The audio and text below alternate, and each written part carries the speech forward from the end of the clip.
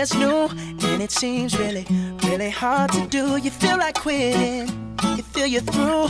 Well, I have some advice for you. Don't give up. Keep on trying, you're gonna make it. I ain't lying, don't give up. Don't ever quit. Try and try, and you can do it. Don't give up. Yeah.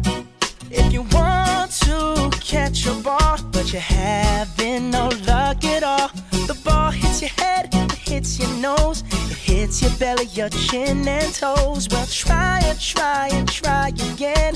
Keep on trying, and soon then you'll put your hands out in the air. You'll catch that ball. Yes, this I swear. Don't give up. Keep on going. You're